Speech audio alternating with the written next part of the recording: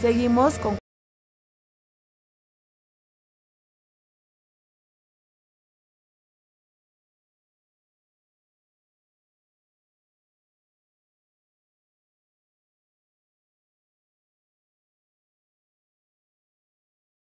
Después seguimos 5 por 10 en Puente Cas.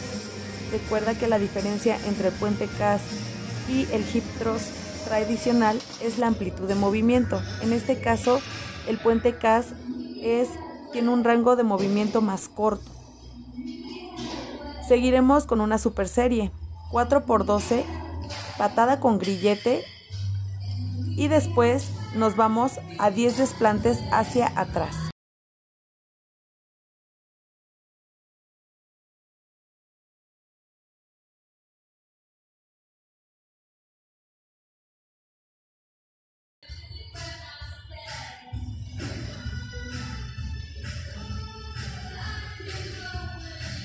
Son solo 5 ejercicios, pero de verdad que esto te va a hacer sudar.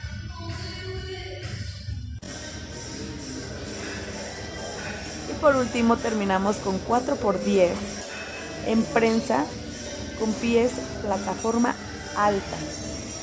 Aquí sí le estoy poniendo bastante peso porque realmente lo aguanto.